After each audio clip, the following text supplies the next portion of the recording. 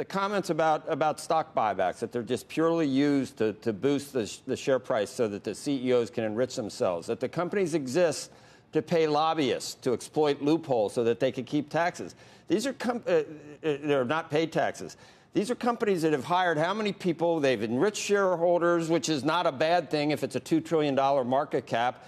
We don't see it happening in the rest of the world, this vibrant technology sector and all the wonderful things that come from it. Is, is it harmful to have politicians like Elizabeth Warren demagoguing these issues with really stuff that's not true? It's basically not true, but it has an effect, and people believe it when they hear it, and, and they think that you know they're virtuous by taking her side of things on these, these things that are being gaslit. Is it, does it have a long term uh, a negative effect, do you think? Or, or do people just overlook it and say they're. Absolutely, if, if, if, it goes that way. Listen, we have a very divided country.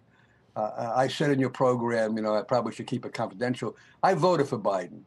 I voted for Biden because I thought we needed a change. Donald Trump had decent economic ideas, but his values were not my values. So I voted for Biden. Okay, but I'm a capitalist, and I think that uh, uh, I go along with Will Rogers, the, the satirist, who said that if politicians delivered on 10% of what they promised, there would be no need for heaven. Both parties lack, are lacking. You know, I was very surprised that how few Republicans spoke out against Donald Trump when, when he, you know, with some of his picadillos. Okay, I was very surprised at how few Democrats spoke out about the violence in cities. You know, I've been a registered independent for 25 years. I switched to a Democrat because I'm a great fan of Michael Bloomberg. So when he ran for presidency, I wanted to be able to vote for him. So I changed my registration. I'm going back to independent. Okay. But Elizabeth Warren is into soundbite journalism. I go you know, soundbite politics. You know, wealth tax sounds good, you know, but it, it doesn't work. It doesn't make any sense you know, raise the tax rate on ordinary income, get rid of the loopholes. You know, I suspect that we have not gotten rid of carried interest, even though it's been talked about for a decade, because a lot of, you know, Schumer doesn't want to support that because his constituency is New York and all these, you know, well-to-do guys that are benefiting from carried interest.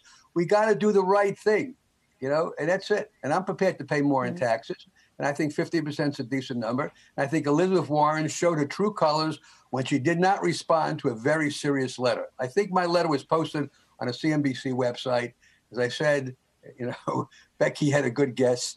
You know, uh, Larry Summers gave me an A plus, and he's on. He's a Democrat, and he's a very brilliant guy, a very good economist.